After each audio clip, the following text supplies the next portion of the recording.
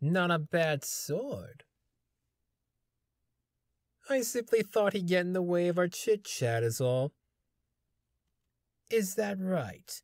Well, I despise weak human beings. Just the sight of them makes my skin crawl. Be that as it may, let me make you an offer. Why don't you become a demon as well? I can tell by looking at you that you're strong. Ha ha, huh? Your fighting spirit's been tempered like the quality steel of a sword. Your name?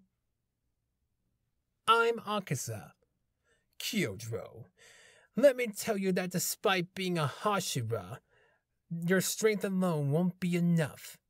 Because of the fact that you're simply human, destined to grow old and eventually die. Become a demon, Kyojuro. Doing so will better yourself for a hundred, maybe even a thousand years at least.